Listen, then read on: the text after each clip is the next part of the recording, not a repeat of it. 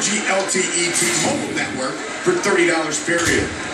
Demian Maia goes in for the high crotch, and he's got really good at his adjustments on his takedown attempts. Once he gets Carlos flat, starts working in, in half guard, and from there, got the mount transition in the back, and he's so dangerous here. He, traditionally, you need to see a guy lock this choke up, have their forearm under your chin. Maia doesn't need to. He squeezes so hard from the sides and he actually shuts off the blood flow from the sides of your neck. He does not need to be completely under the chin. And there you see the tap. There's just no choice. He's just that good.